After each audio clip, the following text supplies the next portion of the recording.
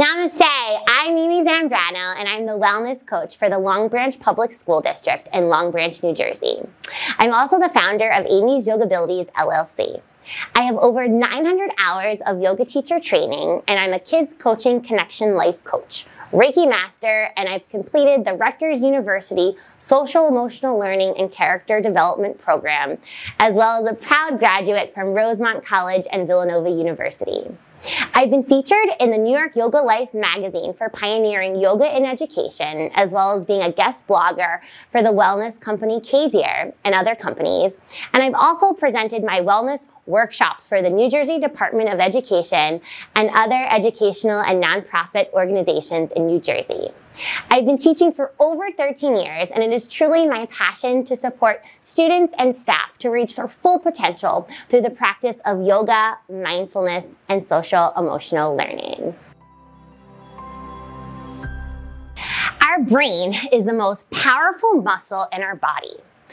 Our body and mind are interconnected, and it's so important to focus on positive words because the words that we speak in our mind become the words that we speak, and the words that we speak turn into our actions. So it's so important that we're aware of what we're thinking, how we're feeling. So some kindfulness tools to support your students and staff I'm going to share with you today. There's this awesome book called The Hidden Messages of Water by Masaru Emoto. And he was a scientist that did this experiment with two bottles of water. And with one bottle of water, he said all positive words to. And the other bottle of water, he said all negative things to. He took both bottles of water and froze them. Then he looked at the molecular makeup under, you know, a microscope. And what he discovered was the words that were positive, the molecules in that water bottle turned out to be these beautiful snowflake-like crystals. And the words that were negative turned out to be all these deformed shapes. And this is really powerful because our words have meaning, right? Our words can really affect not, not only our body, but the way we interact with each other. And we can think of our words like toothpaste. So if you have a tube of toothpaste, this is a great way you can share this activity with your students. So our words are like toothpaste. Once they come out, we can't squeeze them back in. Positive or negative, those words stick. So it's really important that we're mindful and aware of the language that we're speaking. And it starts with ourselves. What are the words that we're speaking from within? And it's helpful to remember that we're all like a beautiful treasure chest. We all have so many precious jewels to share. So one exercise that you can try with your students is the treasure chest activity. So I went to my local craft store and I painted a treasure chest and I designed it. So Long Branch is home of the Green Wave, so I wrote Green Wave Treasure. And then inside the treasure chest, I wrote Celebrate Your Jewels. You have everything to, you need to reach your full potential. Let your light shine. So one way you can use a treasure chest is to cut up different positive words. So for example, I have motivated, powerful, playful. Positive words of affirmations that your students could pick from the treasure chest to see what are their jewels, what are their amazing potential. Or you could have your students choose the word and then put them in the treasure chest. So for example, if your student picked motivated, they would put their word in the treasure chest, and then you could go around the classroom and you would come up with all of your jewels. And then from there, you could do a variety of activities with having your students journal about what makes them shine with that particular word. You could use that as a one word check-in to help them with their feelings vocabulary as that will support them with their emotional intelligence. So the treasure chest activity is a fun way and creative way to engage with your students. Other ways to use affirmations with your students, I love using the Manifest Your Magnificence card deck by Susan Howson. And what's so cool with her card deck are the cards are colorful. They have an affirmation on one side and a little saying about it. So for example, this one says, I am successful.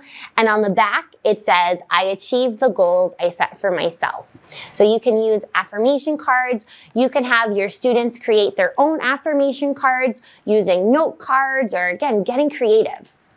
So there's so many different ways you can do that. Depending on the age of your students, I've also used the Power Thought cards by Louise Hay. So for example, similar to the younger version, but it says, I experience love wherever I go. Love is everywhere and I am loving and lovable. Loving people fill my life and I find myself easily expressing love to others. So again, you can create your own affirmations for your students. I've also taken the list of affirmations from the Manifest Your Magnificence card deck and created a Google Doc for my students.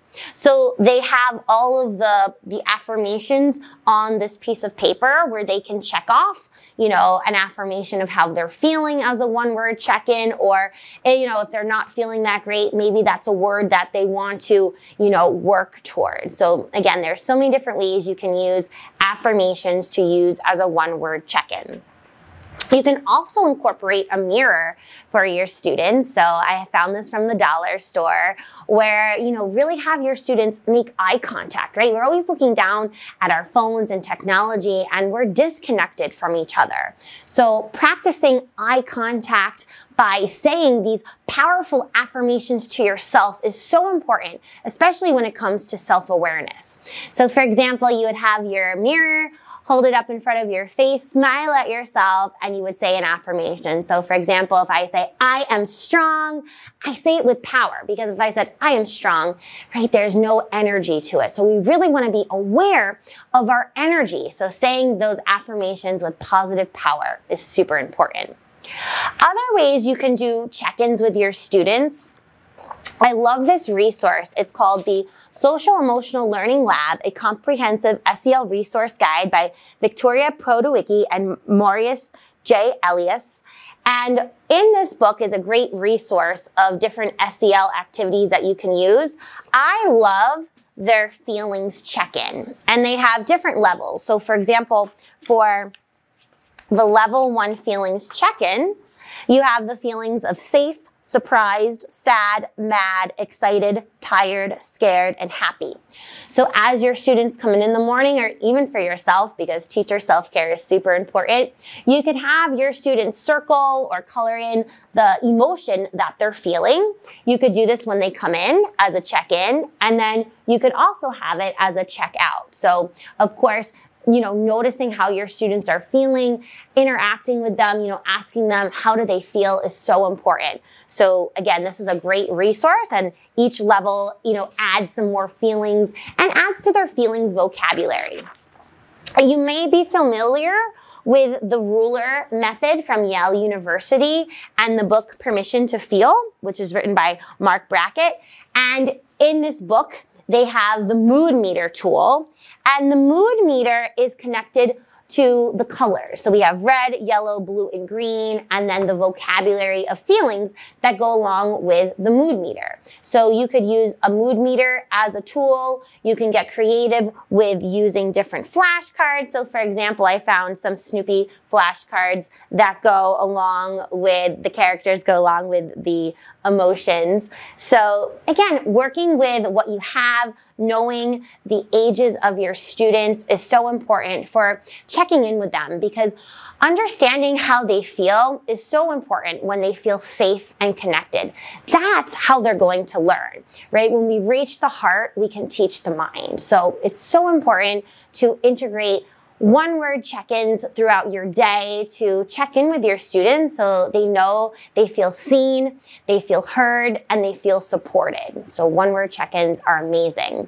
You could also do a one word check-in with a slate, you know, or something to write with. So for example, you could have, you know, your students write down how do you feel. If they feel happy, you could have them hold up their word.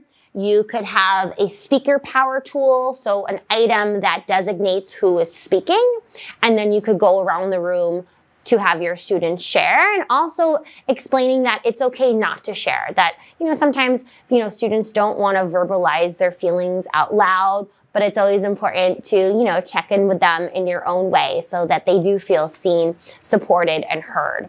So you could do this with a slate you could do this with a notebook and then you know notice how are you feeling? You could do this with pictures as well. So use your creativity to support your students and your staff with check-ins because when you're feeling supported, you're going to be able to connect with everyone, you know, with a with a more positive attitude and experience. Perspective is so important when it comes to honoring our students' voice and, and their experience. So this exercise you can practice with your students using a piece of paper or maybe you'll find some fun sunglasses or use recyclable materials such as a toilet paper holder or a paper towel roll, whatever you have. So first, you're gonna take a, a piece of paper and you're gonna roll it up vertically. You're going to look through your paper telescope and just take a moment to notice. What do you see? Then you'll slowly start to look up. You'll start to look down. And then you'll look towards your left. And you'll look towards your right and start to notice what do you see. You can also add a mindful walk to this activity. So gently starting to take one step at a time, one breath at a time, noticing, observing, what do you see? And then after your students get to experience that, have a conversation. Was that easy? Was that hard? Did they notice something different? So just ask them. Then you'll do the same activity again. You'll reopen the paper and you're gonna fold it now horizontally. So you're gonna roll it up with a horizontal roll. And once again, look through your paper telescope. And what do you notice now? What do you see? What's similar? What's different? And I'm gonna repeat those same movements. I'm going to look up I'm going to look down. I'm going to look to the left. And I'm going to look to the right. And then again, I can add in that mindful walk, walking one step at a time, one breath at a time, observing, noticing. And then when your students finish that part of the activity, once again, have a dialogue, have a conversation compare and contrast what their perspective was like from the vertical shape and the horizontal shape of the piece of paper. And this reminds us that we all have different perspectives. We all have different experiences and there's no right or wrong. Honoring everyone's, you know, viewpoint is so important. You can add on to this activity by using sunglasses or recycled materials. So for example, you can stand on a chair, of course, being careful, and you can put on your fun sunglasses and again, notice the perspective from here, looking up, looking down, looking from one side to the other. Again, what do you notice? What do you see? What's it like from standing up here? right? And then you'll carefully come down. Here I have a kaleidoscope and I'm gonna mindfully walk around the room, noticing what I see through the lens of the kaleidoscope. Again, just using one step at a time, one breath at a time to notice the perspective. You can also do this by standing on something high up. So Again, safety first. Standing on something higher, adding some more fun tools to this. So the oversized sunglasses. Again, what do you notice? What do you see? Using our senses that connects us to our self-awareness, right? And this also supports our social awareness by being aware of everyone's perspective. And again, you'll carefully come down. You can use technology to connect to social emotional learning, yoga, and meditation. So I'm going to share with you a variety of resources that you can use with your students in a virtual setting. So one word check-ins you can use with the Google Chrome Music Lab. And what's cool about this is you can create your own sound to go with the word that you're feeling. And you can, you know, play around with this. Make sure you click the check mark that says save and it will create your very own link. So for example, my one word check-in is happy and I click play. And this brings happy to life. You can also use Google Jamboard as a tool for one word check ins. So I like to use the sticky note. So that's the fourth icon. I click on the sticky note. I can change the color of my note. A one word check in. How do you feel? So if you're feeling tired or whatever your word is, you would just type it in. You click save. Another sticky note will pop up. You can write another word or you can click cancel just be aware that when your students are adding to the jams that everyone has editing access. So be sure that they're mindful of each other's work so they don't delete it. So you can make your sticky note bigger, smaller, you can turn it, you can move it all around. So if you're familiar with Google Jamboard, there's so much you can do with getting creative. If you're new to it, it's a great tool for checking in with, your, with yourself to see how you're feeling. Another great website that I love to use when it comes to one word check ins is Seesaw. So if you're interested in joining my Seesaw classroom, just email me and I'll give you the code because Seesaw changes the code every week. So I didn't want to confuse you. So once you join my classroom, you'll see all of the different activities that I've uploaded here. So for the one word check in, you would click add response, find your name. So I'm the sample student. And then you have all these choices. So it's so important for students to have voice and choice. So whether they want to take a photo of how they're feeling, if they want to draw, create a video, upload something from their Google Drive or the device that they're using, write it on a virtual notepad or create a link. Maybe it's a song on YouTube or, you know, something like that. So just for an example, I'm going to click on drawing and you can either draw with all the different, you know, art tools that they have. You have a whole set of colors, your palette on that side. So if you're feeling happy, you can just write the word happy. You could also create a text box. So the letter T, you could also write the word happy. You can move this around once you're finished writing in your word.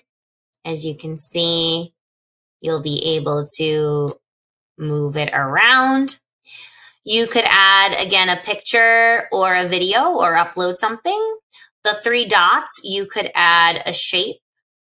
So for example, if I add a heart, I can, you know, move that around as well there are other options that you can do to create, you know, get creative with your one word check in. And then once you're done playing around on Seesaw, you click the green check mark and then it saves it and includes it in my classroom feed. So it's pretty cool. Then you'll get to see everyone's different one word check ins or whatever activities that they are working on. So when you click back to activities, you can also upload any of your coloring the calms. So if you scroll down, I've uploaded the the bookmark, that template that you can use to write positive affirmations. You could donate them to a local nonprofit. I also have the sun and the moon yantras that you can color to calm with. So again, you would just click on add response. Once it finds your name, you click on your name. And then here, the template is already provided. So once again, you could decide, you know, what coloring tool do you want to use? You can choose, you know, the different color and, it, you know, it takes mindfulness and focus to add the, you know, creativity to your yantra. There's also the moon one. So see that little arrow there? If you click on that, it'll bring you to the second slide, or it should. Oh, there it is on that side right there. So both the sun and the moon yantras are already uploaded. Again, when you're finished, you click on the green check mark and then it would add to the, the feed. Again, you can get creative with Seesaw as you can, you know, record yourself reading meditations. You can use any of your favorite books as a guided meditation. If you use you know, get Epic. They have a great library of the Susan Verde books, the I Am, and I'm sure there's many more, you know, mindfulness and social emotional learning books. So again, you know, your students can create their own meditations that they can listen to each other. You can, you know, get creative. And I've uploaded the meditations that I shared with you in this video. So we have the Pebble meditation and also the metta meditation that you can use as tools for self-reflection. Other tools that I like to use when it comes to getting creative with meditations are the Pixton app. So again, the code is on the slides that I've shared with you. And once you join my Pixton classroom, or of course you can, you know, create your own Pixton classroom you can create your own comic books. So this is one that I've already created for self-care for SEL day where I do a whole little mindfulness and movement sequence as a comic book character. So as you can see, it says your breath is your power. Let's connect to our breath with the heart breath. So each frame you get to create. So if I go back to my Pixton classroom just to show you, when you, you know, I have some I've already done. So I'm just going to click on edit.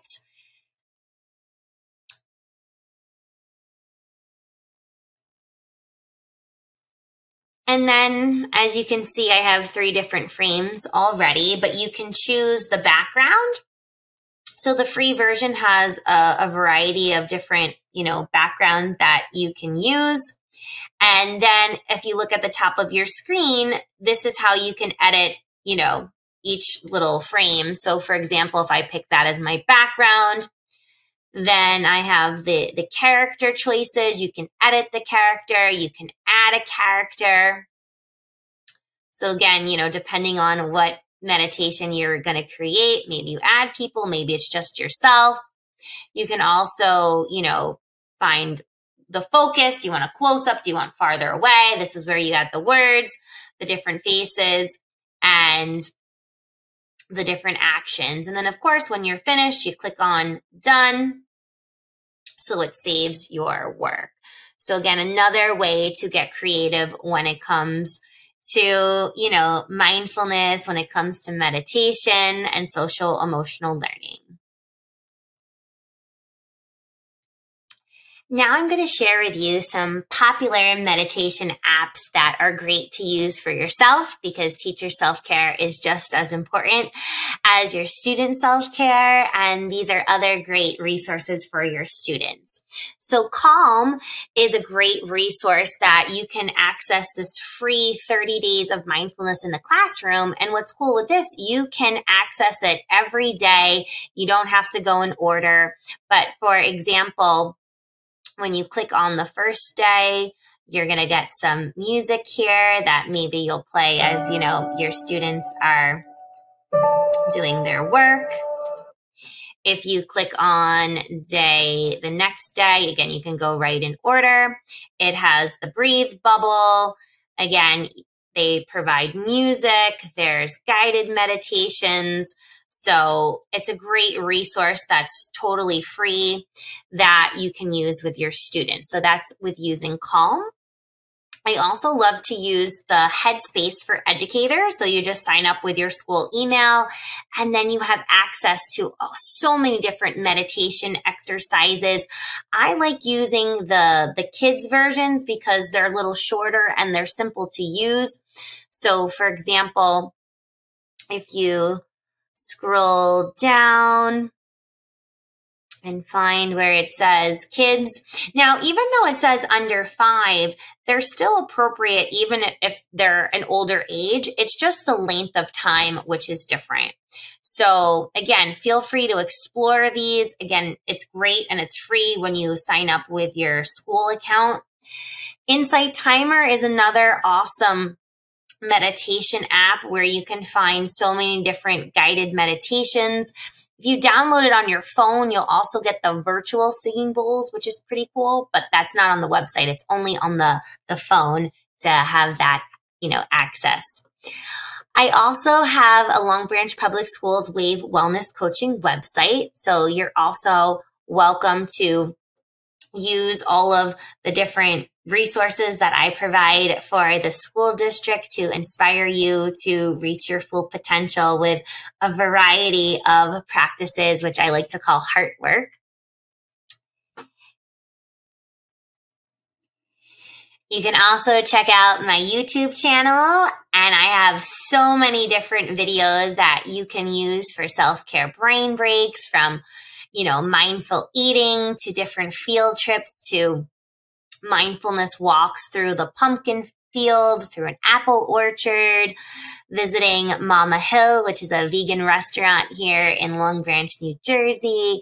So there are a variety of videos that you can play, you know, for your students that I have here on my YouTube channel. So again, you can find that link in the slides or just, you know, put a search in Amy Zambrano yoga for the different videos.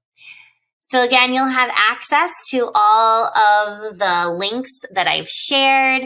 You can print them out if, you know, that's easier for you and your students, but feel free to reach out to me at amzambrano at longbranch.k12.nj.us to connect. And if you have any questions, feel free to let me know.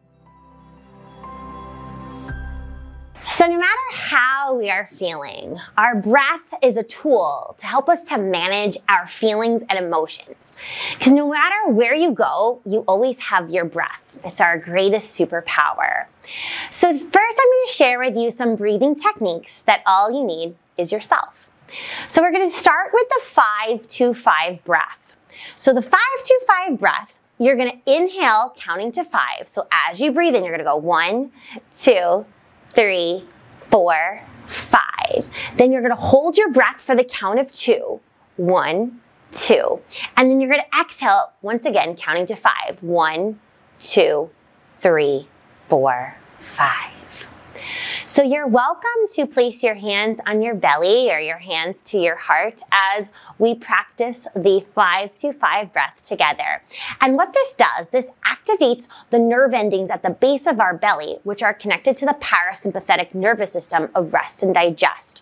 So this naturally calms down our body when we're feeling stressed out, when we're in that fight or flight sympathetic nervous system mode. So again, our breath can really help us to come to calm. So let's try the 5-2-5 breath together. So making yourself feel comfortable, breathing in one, two, three, four, five. Hold, one, two, breathe out, one, two, three, four, five. Again, breathing in, one, two, three, four, five, hold, one, two, breathe out, one, two, three, four, five. And one more nice deep breath together. Breathing in, one, two, three, four, five. Hold, one, two. Breathing out, one, two, three, four, five. So if you find that the 525 breath is a little much, you could always modify or adapt the count to make you, you know, feel comfortable. So you could always inhale for the count of two, hold for one and exhale for two. Or you can also increase it as the more, you know, you practice this technique. Next, we're gonna learn the heart breath, which is a calming breath. So let's bring our hands together to rub our hands to feel our inner sunshine, our inner heat, because that sun shines inside our heart. And our breath helps us to clear out all those clouds that are in the way of our sunshine. So just take a moment, breathing in, breathing out, feel all that warmth, all that heat. And then we're gonna connect them to our heart and you're welcome to close your eyes or keep them open as we take a nice deep breath, breathing in and breathing out. Again, breathing in and breathing out. Breathing in and breathing out. Beautiful job, everyone. The next breath is our lion's breath, which is an energizing breath. So you're gonna stick out your tongue and you're gonna go, just like that. We'll do that two more times together. Breathing in, breathing out, let it roar. One more time, breathing in, breathing out, let it roar. And that is a nice cleansing breath as well as it's energizing and also just again clears out all the stuff that, you know, gets built up not only in our lungs, but also in our mind. So we can get that clarity, that focus, which supports us with self-awareness and self-management and even just interacting with each other, with our staff, with our students for social awareness and relationship skills as well. The next breathing exercise I like to call Take 10 to Zen using your hands. So what you'll do is you're gonna breathe in and breathe out, tracing the palm of your hand. You're welcome to connect this to the five to five breath. You could add in, you know, counting. You can add in, you know, if you're practicing vocabulary, you know, make it right for what your subject area is, your students. And then after you complete one full cycle with one hand, you'll high five your other hand as you breathe in and breathe out. And again, you can get creative with how you, you know, take 10 to Zen, whatever makes you feel comfortable. And then the last breathing technique that you just need your body for is called Nadi Shodhana, which is also known as alternate nostril breathing. And this is another technique that helps to balance our brain and our body when we're feeling overwhelmed. So once again, this tunes us back in to the parasympathetic nervous system.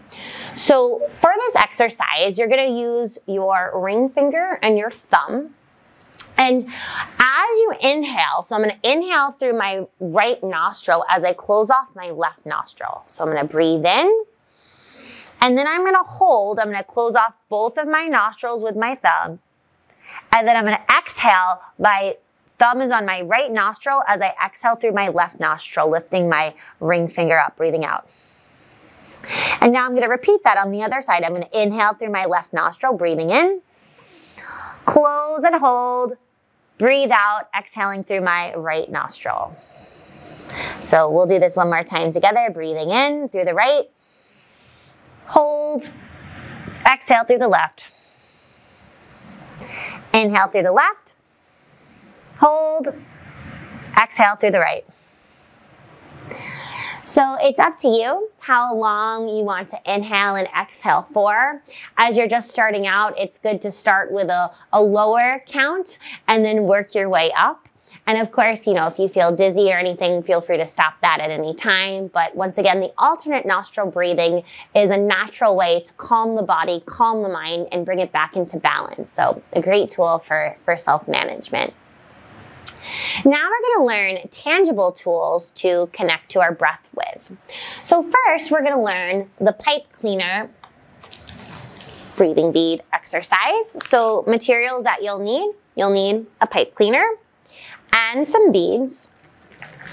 And I like to connect the pipe cleaner breath to the 525 breathing technique. So using my pipe cleaner, I'm just gonna make a little loop and then twist it you know, always being careful. Sometimes the pipe cleaners can be sharp. So I make a, a loop on one side. And then I'm gonna mindfully string the beads on the pipe cleaner. So I'm using five beads. Three,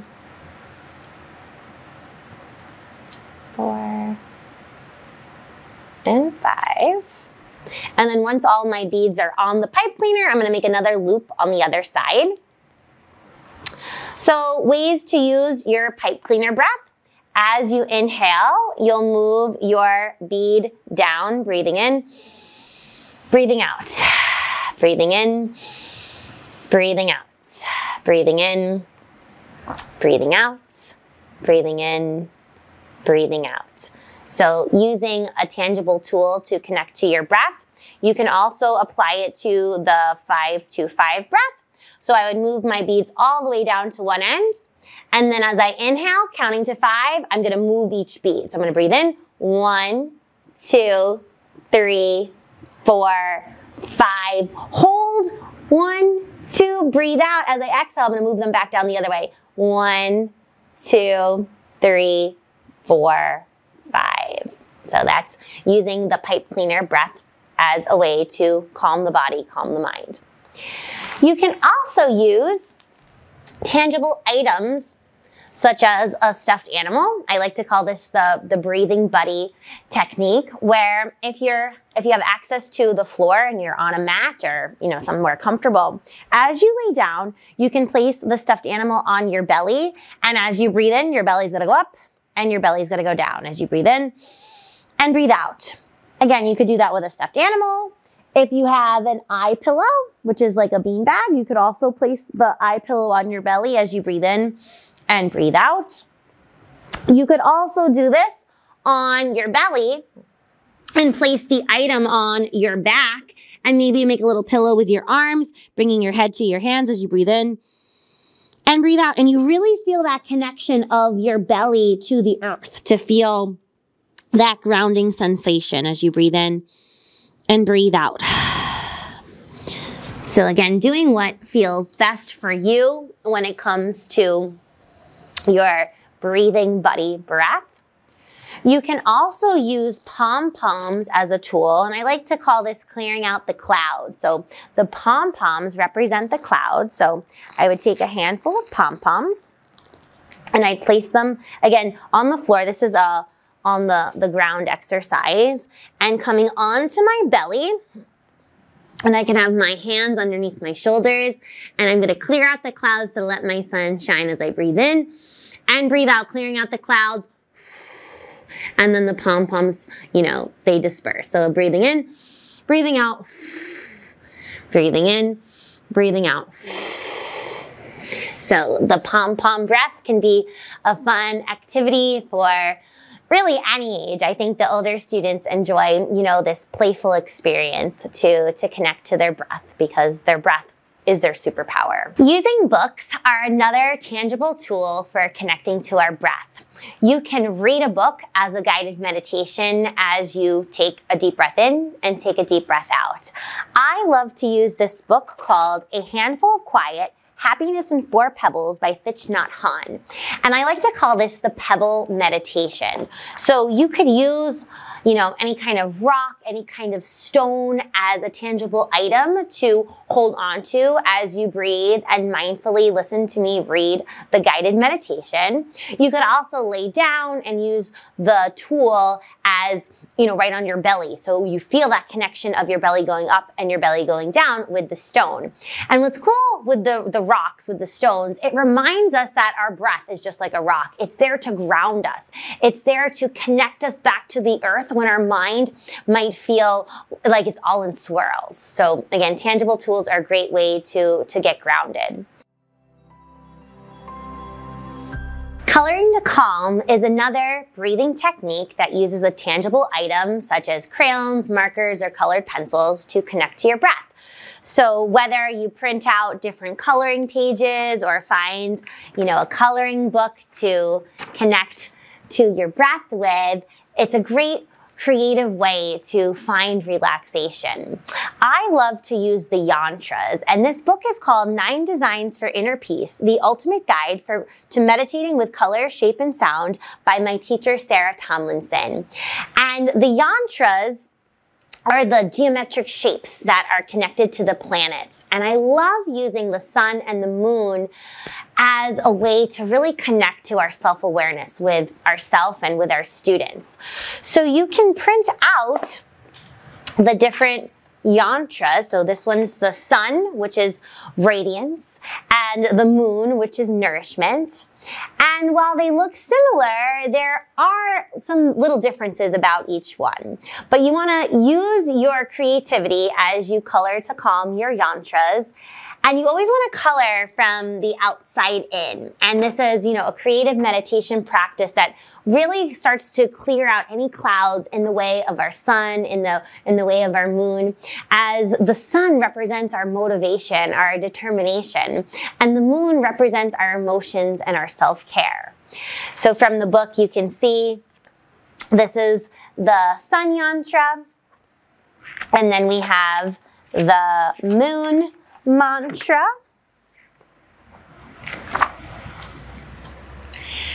And of course, you can color them similar to the colors in the book, or of course, you can create, you know, your own colors to the sun and the moon yantra. And then I like to have my students incorporate a mantra which is a positive word, a positive phrase to go with their yantra. So it could be I am strong, I am brave, I am confident, I am smart. Any positive power that they can keep on playing and replay in their mind. So they build that confidence, that self awareness to be the best that they can be. Mudras are another tool that we can use when it comes to self-awareness and self-management. I love using the Mudra card decks by Alison DeNicola and Sabina Espinet because they're colorful, they're clear, and they're really creative, you know, for the students to tap in to their positive power because there are nerve endings at the bottom of our fingertips that are connected to our parasympathetic nervous system. So just by using our hands in these different postures, we're able to naturally come to calm and to connect to our breath. So today we're going to tune into our inner rainbow superpowers, also known as the chakras, as we connect them to the mudras. So these mudras are specifically from this mudra card deck, the mudras for awakening the energy body. And I also highly recommend the mudras for awakening the five elements.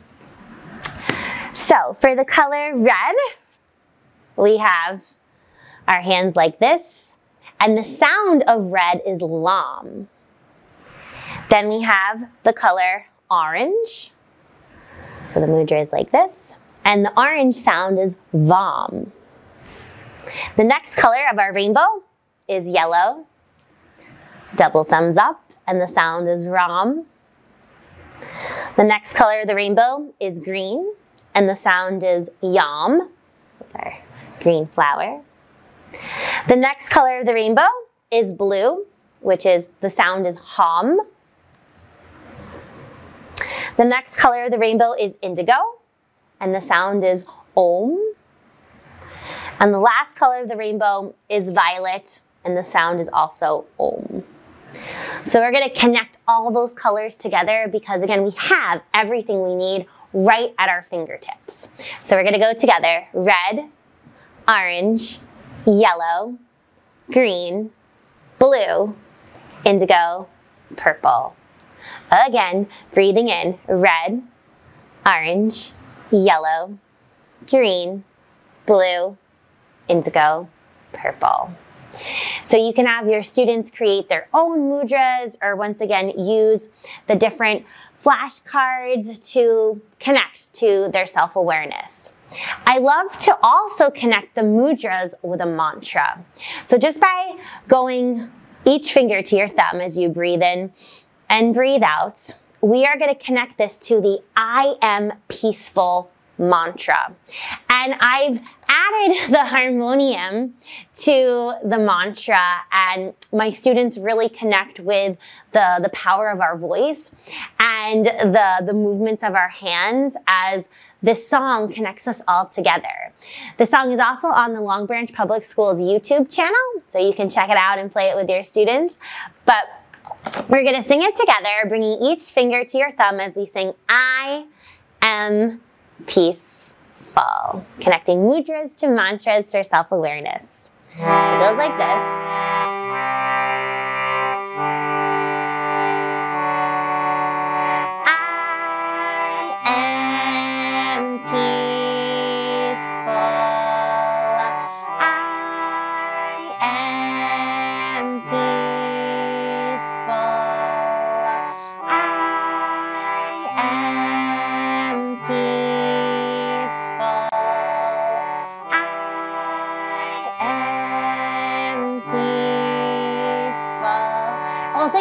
Times all together now. Here we go.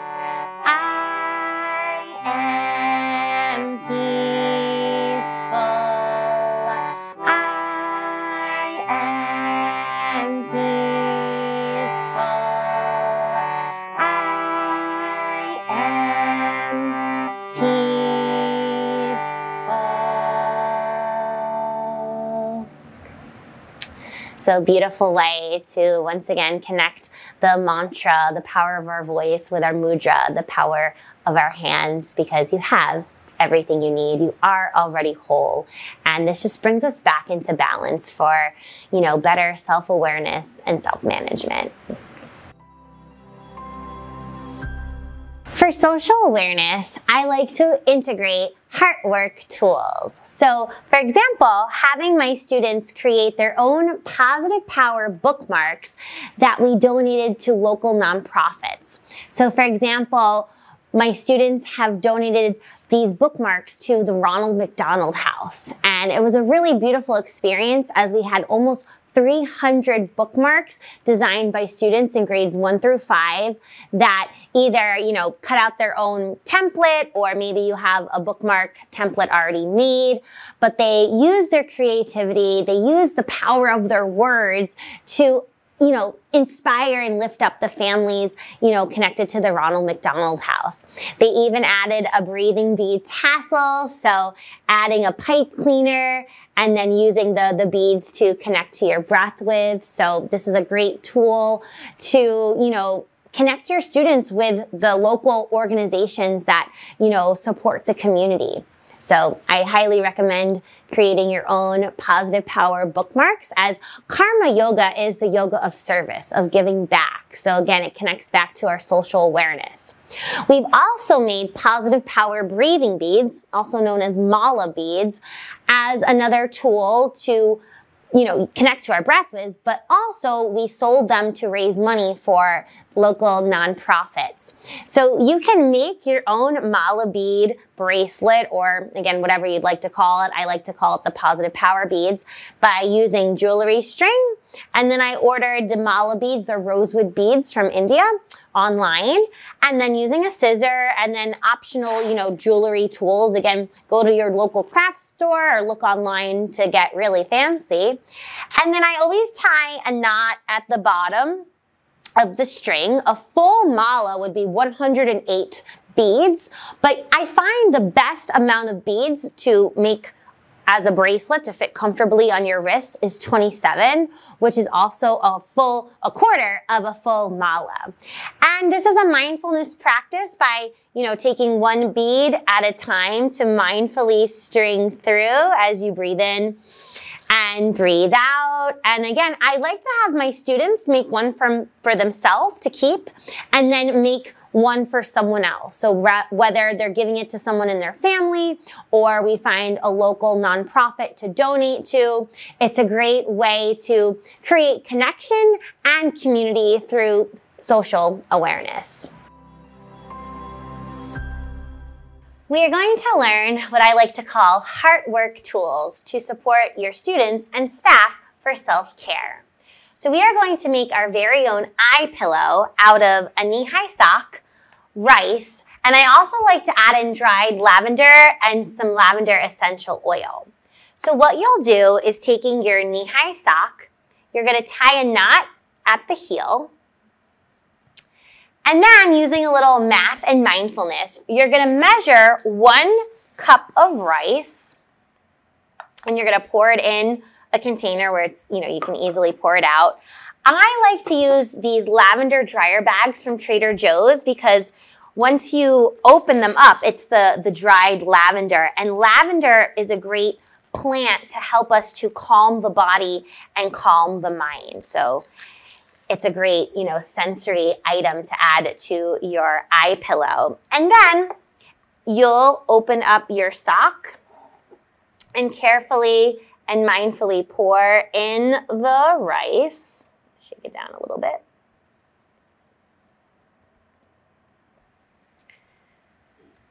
And then after you do that, if you wanted to add you know, an essential oil. Lavender is great. You could also use peppermint which is good for focusing or if you have a headache, or lemon, which is also good for focus and also for immunity. But for today, I'm going to use the lavender essential oil. I personally recommend Young Living as, it's the, the best company because it's organic and there's no added chemicals or fillers, but you know, use what you have. And then I'm gonna add in two drops. I'm gonna mindfully count one, two. And then I'm going to tie a knot at the other end. And I'm gonna massage the rice around so all that lavender, you know, gets through all of the rice. And then you can use this for relaxation at your desk. You can use it if you are doing a restorative pose. It's a great tool that you can use with your students. And of course, if you didn't want to make it, you can also buy them online. So that is an eye pillow. Making Magical Mist uses essential oils as a sensory tool to help us to relax or stay focused. So I love to use with kids peppermint, lemon, and lavender. And to make the magical mist, you'll need essential oils, a carrier oil, oils you cook with. I personally love to use coconut oil, but you could use, you know, canola oil, vegetable oil, whatever oil that you have in your cupboard. And then you're also going to use some water. So online, I bought these spray bottles. Again, they come in all different shapes and sizes. And depending on the bottle will also depend on how many drops of the essential oil you're gonna put in. So for a small bottle like this, I'm gonna put in about 20 drops of the essential oil. So for today, I'm gonna use peppermint. This helps with focus. This also helps with headaches or muscle tension. So I'm gonna mindfully count to 20 as I drop all of the peppermint essential oil in the bottle here. And again, this is a great sensory tool to support us with self-management, helps us with self-awareness.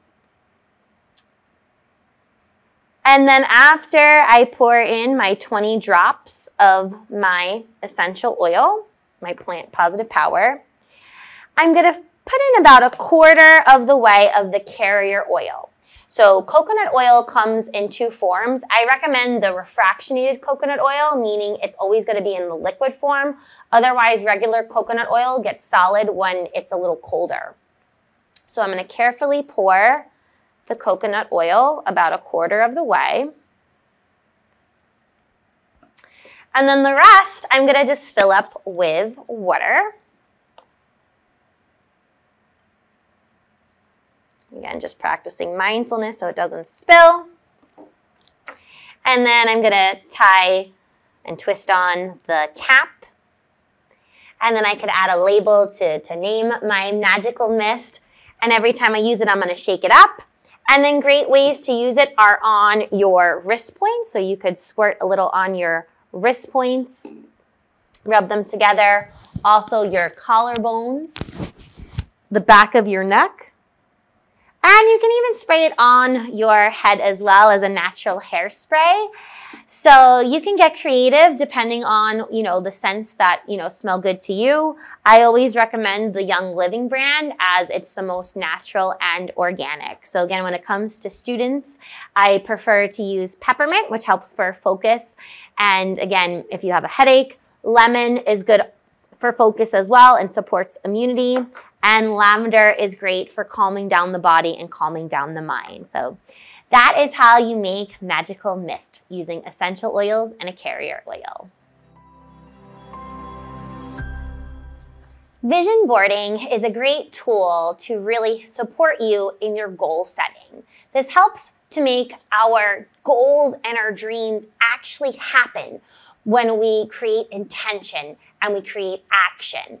So you can design your own vision board by using a variety of materials. You can also do this virtually by using Google Slides or whatever program that you use on a computer. But you can find any kind of cardboard that, you know, you might recycle different shapes and sizes. And then you'll use different magazines to cut out, you know, inspirational quotes or, you know, finding something that's inspiring for you. as you create your goals, creating your vision. This could be something very specific, whether it be, you know, you want to write a book, you might cut out, you know, pictures of books or inspirational quotes that are going to inspire you to write your book. Or if you're not sure yet, what's important is to put things that make you happy. Because the happier we are, the less stressed we'll be. So having things to remind you of what brings you joy will help you to get clear. I also recommend before you start vision boarding that you do some breathing and meditation exercises to clear out any clouds in the way of our sunshine, to really get to the heart, get to the truth of your intention, to clear out any false beliefs, any negativity, any lies that we have in our mind that prevent us from actually achieving our goals. So vision boarding can be a really powerful tool and a creative way to connect with your students so they can reach their full potential. Connecting us to our relationship skills, I think having the relationship with yourself is one of the most important relationships to focus on, that relationship of self-care. So I love to use crystals or gemstones as a way to connect back to myself, to practice self-care through meditation. So this is a tangible way to, you know, connect with your breath to practice mindfulness. I love using the book Using Gemstones to Connect with Your Superpowers for Kids and Adults by Alex Hadassah Anzalone. And she features about eight different crystals in this book. And, you know, I went to my local crystal store and got the actual crystals to go along with the story so that the kids can actually see the crystals, feel the crystals, because they come in different shapes and sizes. Some are smooth, some are raw. So the powerful crystals for kids to use for focus and confidence, we have tiger's eye, amethyst, clear quartz, rose quartz, aquamarine, citrine, chrysocolla, red jasper, and lapis lazuli. And all of these gemstones are found in this book. And why I love this book, so for example, if we come to Tiger's Eye, it has a great picture that, again, you could engage in a mindfulness conversation. And for example, it says, Tiger's Eye, I am courageous like a tiger. I am confident and succeed at whatever I put my mind to. The superpowers are courageous and confident. Use Tiger's Eye when you feel scared or shy. It will activate superpowers that help you feel courageous and confident. How can I use Tiger's Eye to activate my superpowers? With your eyes closed or open if you prefer, take a deep breath in and out and imagine this stone is helping you feel courageous and confident. So this is a great resource to introducing your students to crystals. I highly recommend. Another way you can connect to crystals are through using a crystal grid. And there are so many different shapes and sizes of crystal grids, but they connect us to different geometric shapes. So you can compare and contrast the different wooden grids that I have here. And they also make them on fabric as well. So I love using variety when it comes to crystal grids and meditation. And this is a way to really get crystal clear of our goals, of our intentions. So not only is this a great, you know, relationship skill, but this also works with goal setting. So what you would do, you know, when you're using the crystals for the grid, you work from the outside in and you place the crystal or stone on the points. So you're mindfully moving your stones as you're thinking of your goal, as you're breathing, almost similar to the pebble meditation that we practiced earlier. And again, it's a way to get really clear. And I always put my tallest stone in the center. So I have the clear quartz tower here.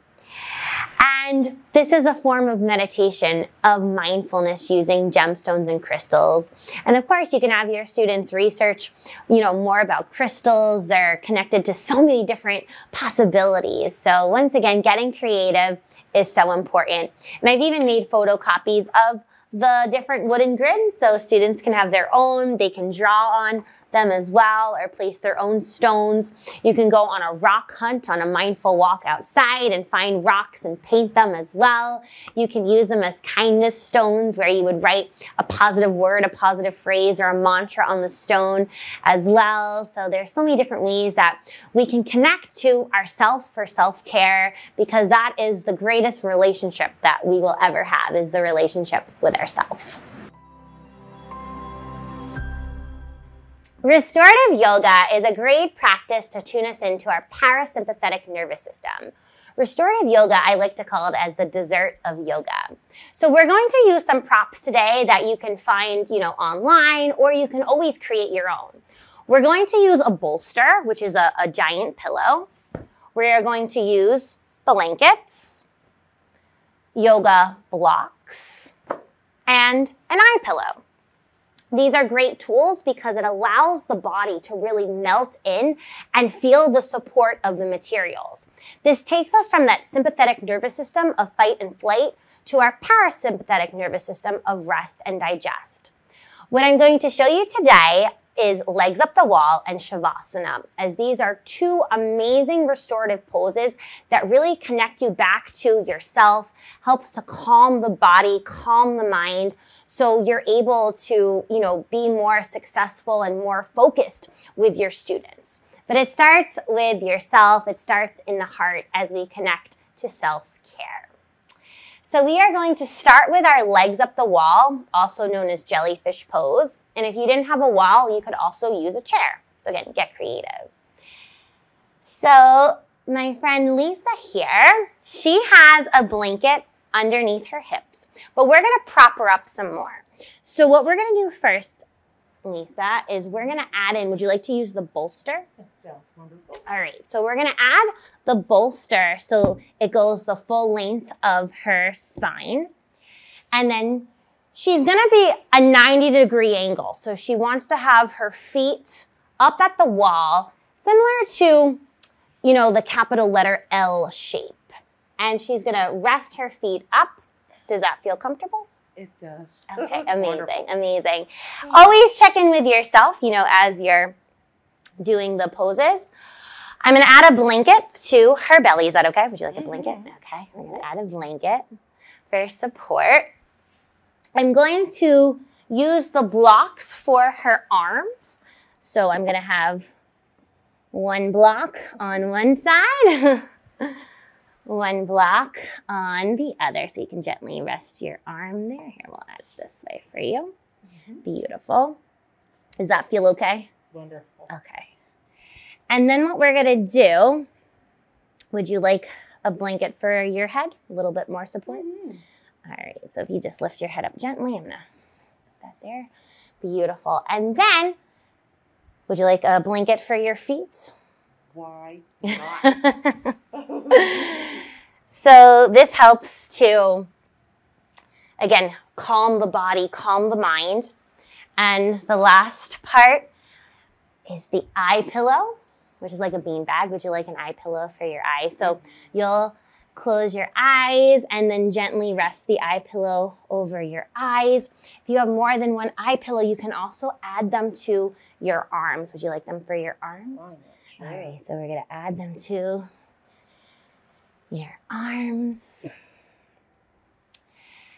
And then let the magic begin as you breathe in and breathe out, just relaxing your body, relaxing your mind in our legs up the wall pose, also known as jellyfish pose. And I also like to add in the sound of the singing bowl. So of course, you could find it online or maybe you record yourself playing the singing bowl. But it's a nice tool to get connected back to your heart, back to yourself as you breathe in and breathe out. And start to allow your mind to come to calm Sometimes it's helpful to think of a word or a phrase, such as a mantra or an affirmation, for your mind to focus on. So it could be something simple as love, peace, I am strong, I am calm. If you have a hard time allowing all the thoughts to settle, focusing on your breath as you breathe in and breathe out, relaxing your body, relaxing your minds. Again, this pose really tunes into that parasympathetic nervous system of rest and digest. As self care is so important, when we're able to take care of ourselves, we're able to take care of others. So, using what you have to make yourself feel supported, because you are whole, there's nothing to fix. You have everything you need to balance your body.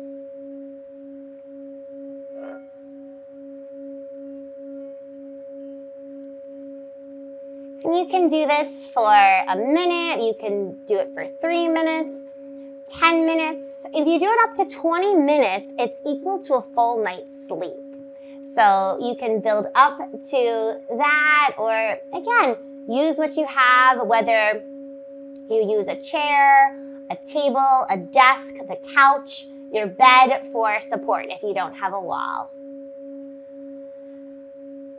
And then nice and gently, you can start to wiggle your fingers and your toes. And be sure you slowly come out of the pose. You know, there's no rush. So do what feels best for you when it comes to legs up the wall, or I also like to call it the jellyfish pose. The next restorative pose that we're going to learn today is called Shavasana.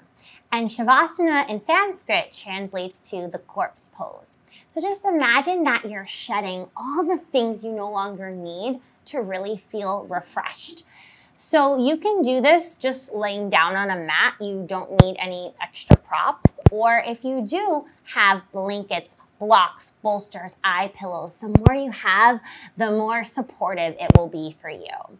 So right now I have Lisa here with the blanket supporting her head as a pillow. You could also use a pillow. Then she has a blanket covering her belly. And her feet right now are resting on this bolster. You could have your feet rest on the bolster. You could have this under your knees. Again, you could use the bolster to support your back. If you didn't have a bolster, you could roll your blanket so it's in the shape of a bolster.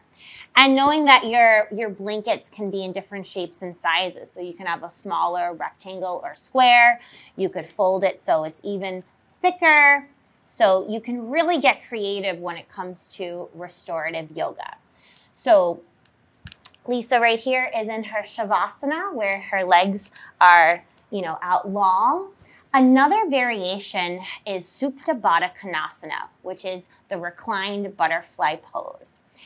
So what we're gonna do now, she's going to move her feet off the bolster and then she's going to bring the soles of her feet together and we're gonna support her knees with the blocks here. So I have two blocks. How does that feel?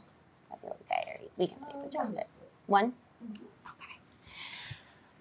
And blocks also have three different heights. We have low, medium, and high. So you can always do it to what feels comfortable for you when it comes to the support. We're gonna have her arms rest on these blankets here. So you'll lift one arm up, there you go, beautiful. And again, remembering to stay balanced and you can lift your other arm up relax. And then once again, using the eye pillows, these are great tools for proprioception to get us back into our body. So I'm gonna add a eye pillow to your wrists here.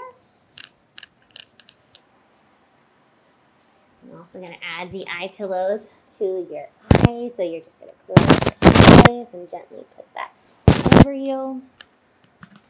And then I'm also going to add this roll of the blanket for her ankles here to support her ankles. So we're just going to tuck it in just like that. Beautiful. How does that feel? so if you're helping someone get into the shape, always check in with them. Ask them how does that feel? Do you need something else? Do you need something less? Because again, it's just the shape and every body is different. So what may feel comfortable for you might not feel comfortable for someone else. So really practicing this self-care. And then the best part is you get to take a little yoga nap. As again, this tunes into our parasympathetic nervous system of rest and digest. And once again, I'm gonna play the singing bowl for her to feel more calm, more relaxed as we breathe in and breathe out. And again, you can do this in your classroom. Maybe you find a spot in the faculty room, at home. You know, use a couch, use a chair if you, you know, don't feel comfortable laying down. But what's important is that you connect back to you, connecting back to your breath. Because no matter where you go, you are always breathing. And just by taking a deep breath activates those nerve endings at the base of our belly, which naturally tunes us into this parasympathetic nervous system. And the beauty of the pose using the props is that we really start to melt and sink into the earth, to feel grounded, to feel supported. So this supports you if you're feeling stressed out, if you have anxiety. Again, just noticing how you feel and also noticing that it's okay if this doesn't feel great too. So just self-regulating, doing what you need to best serve yourself. So I'll take a few more moments, breathing in and breathing out. Again, you can always add a mantra, an affirmation, play your favorite song, whatever feels comfortable for you as you take these mindful moments to practice self care.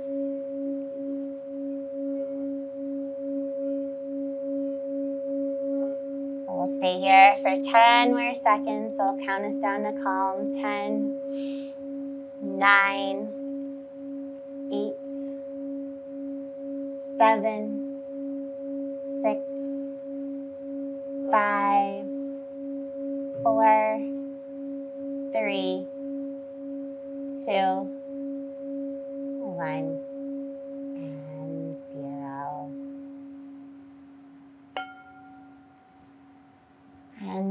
Whatever Shavasana you chose, whether you were just laying down or chose the butterfly, or maybe you did something totally different, you'll gently start to wiggle your fingers and your toes and open your eyes if you close them.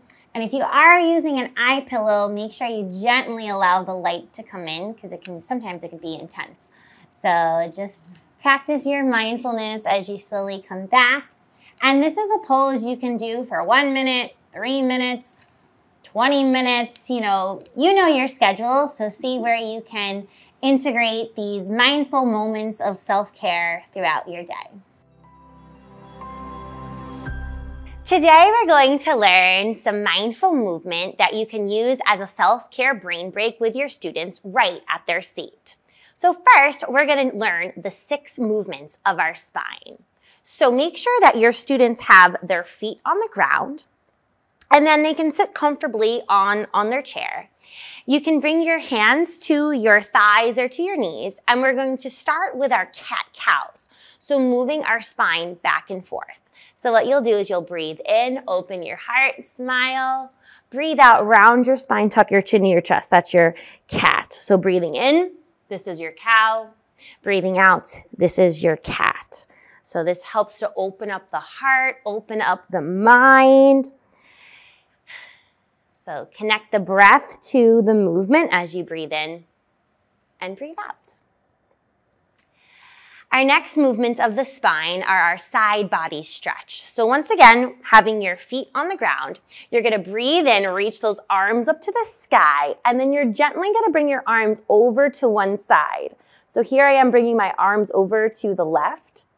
I can also create this side body shape by reaching for my right wrist, or I can box my elbows as I breathe in So you always want to make it comfortable for you and then breathe in, come back up to center, reach those arms up to the sky, and then take it on over to the other side. Whether your hands are just reaching towards the wall, you reach for your wrist, or create that box like shape with your elbows. And this helps our lungs because it expands the sides of our body so we can breathe better, have more energy, and more focus. And then we'll come back through to center. The other two movements of our spine are the twists. So once again, have your feet on the ground. I'm going to take my left hand to my right knee and my right arm right behind me. So again, all chairs are different, so get creative using the chair that you have. So I have my right hand on the top part of my chair. I could also have it at the back part of the chair. And then I'm gonna look over my right shoulder and smile as I breathe in and breathe out. breathing in and breathing out. And twists help to rinse out our body, rinse out our mind. So whatever we no longer need, it just clears it all away. And then we'll come back through to center and try this on the other side. So I'm gonna take my right hand to my left knee. My left arm is gonna go either at the top of the chair or at the, the base of the chair as I look over my left shoulder, once again smiling at someone else as you breathe in and breathe out. Breathing in, breathing out, and coming back through to center. So the six movements of the spine are so important to keep that healthy posture because a healthy spine is a healthy mind. So next you can clear out the clouds, stomp your feet. You can either have your hands clearing it all out on your desk or your, your lap, whatever feels good for you to shake it all out, let it all go. The next movements are helpful whether you've been writing or on technology. So we're gonna start to make some circles with our wrists, and you can even make some circles with your ankles. So again, doing what feels good for you as you breathe in and breathe out. And then we'll come back through to center. Another wrist stretch is having your palm out. So this is also the Abhaya Mudra. And using, uh, here I have my left hand. So using my right hand, I can gently press back on my fingertips as I breathe in and breathe out. And always listen to your body. So do what feels comfortable for you.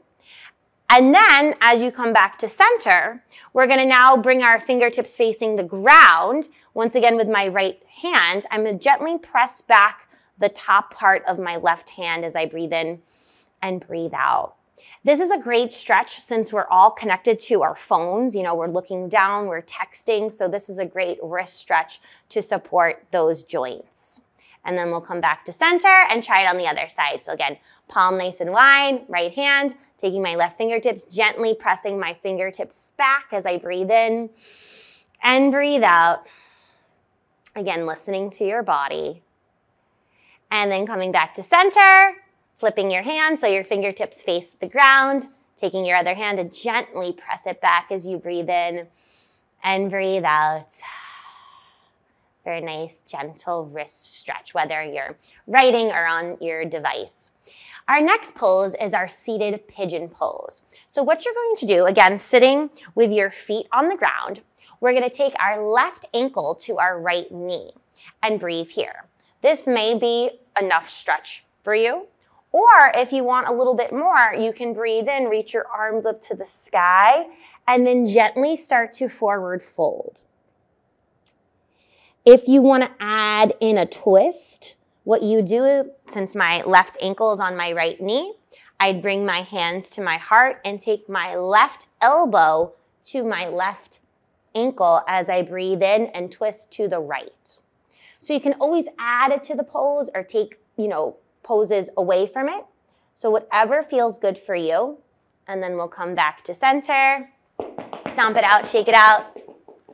And then we'll do that on our other side. So again, feet are grounded right ankle to your left knee.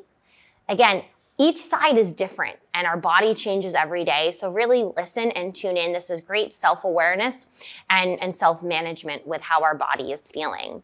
Make sure you also flex through your toes. This may be your seated pigeon, or again, maybe you add in a forward fold, reaching those arms up, gently reaching towards the ground. You can even make a box with your elbow. You can get creative here.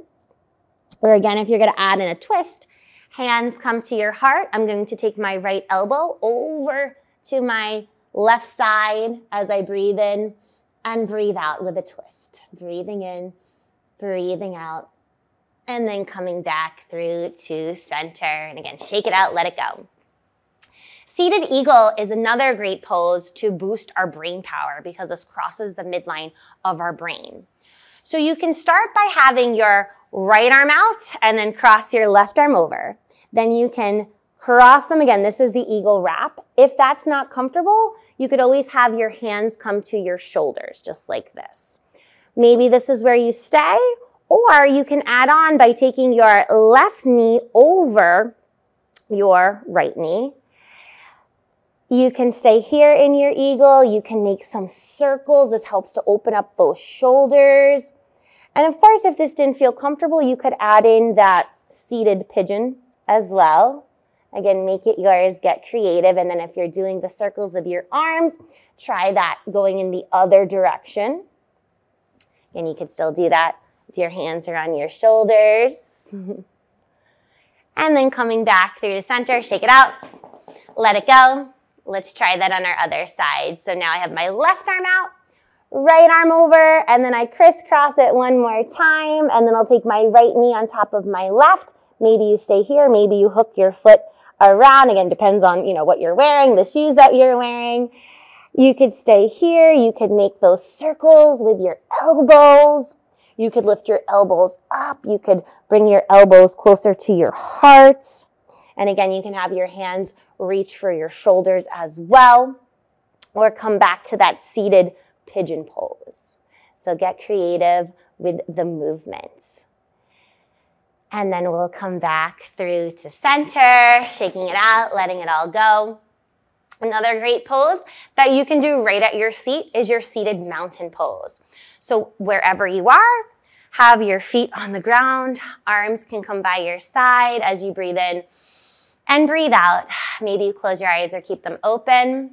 You could bring your hands to your heart or any of the mudras. You could have red, orange, yellow, green, blue, indigo, purple as you breathe into your seated mountain pose.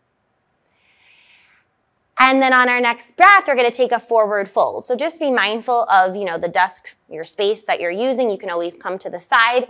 As you breathe in, reach and stretch those arms up to the sky. Breathe it out, forward fold. Maybe your arms start to sway. You could box your elbows. So whatever feels good for you, and then you'll slowly come back up. Now I'm gonna share with you some poses that you can do using your desk or your chair for support. So as we stand up, we're going to do our down dog using a desk. And there's a few different ways you can try this. Anytime we do a downward dog, make sure your palms are out wide so this supports our core strength and even our handwriting skills. So you're gonna high five your desk and then gently walk your feet back. And you can let your head hang here in your desk downward dog. Now here you can get creative. You can lift one foot up. You can make those circles, whatever feels good for you. And remembering whatever you do to one side, you want to do to the other to stay balanced. You can also do this down dog with a chair. So I could either use the top part of the chair. Again, every chair is going to be different. So, you know, be mindful of that. Be aware of that. Once again, I high five the chair walk my feet back as I breathe in and breathe out. And I can also try that with the, the base of the chair. Once again, palms nice and wide. High five the, the chair. Walk your feet back as you breathe in and breathe out. So it's important to show your students a variety of ways so they have that voice and choice to see what would feel good for them in that shape using, you know, the materials that you have. Another pose you can use when it comes to the classroom is using the desk or the chair for support for a tree pose. So you can either, again, doesn't matter what side, you can start with a kickstand tree with your foot by your ankle. Maybe you hold on to the, the desk. Maybe you hold on to the chair. You can reach and stretch your arms to the sky. You can bring your foot a little bit higher. Just be mindful not to put your foot on your knee. So either below your knee or above your knee. You could add in those eagle arms for a little bit more brain power work. Add in a mudra. And of course, you could always ask to hold someone's hand as well, a little bit of teamwork. Teamwork makes the dream work. So do what feels good for you. And then you'll come back to center, shake it out, let it all go. Come back to your mountain pose, your standing mountain, and try that on the other side. Whether you have your hand to the desk for support, you could use a wall, you know, whatever you have to feel that strength, to feel that power. And the other trick to tree pose is to keep your eyes on something that's not moving. That also strengthens our focus, right? So this could be your tree. Maybe your arms are to the sky. You could add in that those eagle arms, and then you'll come back through to center. Another great balancing pose is the airplane. So once again, you could either have one hand supported on the, the desk or the chair and the other arm flying out to the side with your foot lifted. You also could try it without using something. You could bring your hands to your heart, your arms forward, your arms by your side. Again, flexing through your toes, keeping your hips squared. And then come back to center and we'll try that on our other side. So once again, begin in your mountain. Arms reach out lift your other leg and feel free to hold on to someone or something for support. And then we'll come back through to center. Another great pose that really strengthens the brain power and is a great quick brain break is our midline move it, movement. So I like to call this our shining star pose. So what you're gonna do is you're gonna move your feet apart, reach and stretch your arms out, wiggle your fingers, share your shine. Now we're gonna take our right hand to our left toes, come back to center, left hand to your right toes. Connect your breath to the movement as you breathe in and breathe out. And your students can go as fast or as slow as they'd like. Just be mindful that you don't get dizzy, but this is a great way to wake up the body, wake up the mind, create some movement and mindfulness throughout your day so your students stay focused and alert and they're connected to their, their body and their mind. And then we'll come back to center. Another way you can do this is standing in mountain pose and connecting your elbow to your knee. So for example, if I'm gonna lift my left knee, I'm gonna reach my right elbow as I breathe in and breathe out. Left elbow, right knee, breathing in, breathing out. And you can get creative here as you connect the breath to your movement. So this is another way you can get that midline movement right in the classroom. And then we'll come back to center. And our last pose, using the desk and the chair, is your child's pose or your shavasana right here at your desk. So making a little pillow with your arms, you can bring your forehead to, you know, your hands as you breathe in and breathe out. You can also use an eye pillow, or you could make your own out of a knee-high sock and rice, and maybe you add in, you know, an essential oil such as lavender or peppermint. But this is another great tool for self-awareness, for self-management as we connect to our breath, as we breathe in and breathe out. Breathing in and breathing out. And then slowly coming back up So it's so important to create these mindful moments throughout your day, whether it just be one pose or a few of the poses that I shared with you. Thank you for watching my Kindfulness Tools for Schools presentation. I hope you're able to integrate all these tools and techniques into your classroom and beyond. Namaste.